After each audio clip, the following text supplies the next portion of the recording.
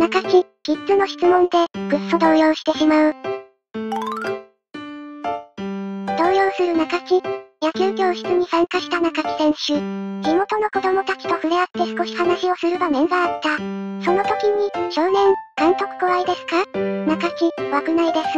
全然怖くない、と少し早口で動揺しながら回答した。これを見た視聴者からは、中地の本心を推察する声が多い。これ見る限り絶対怖いだろ。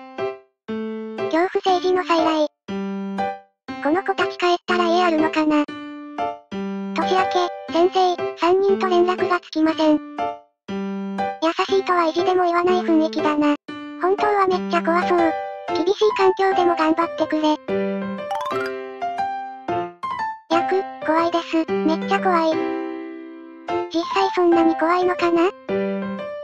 ?2 年連続再開で案外丸くなってそうだけどな。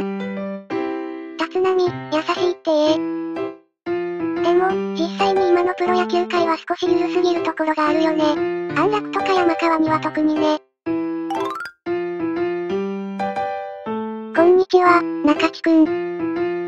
ドラドラ情報局は、中日の現地情報や有益な情報を発信中です。チャンネル登録、高評価コメント、待ってます。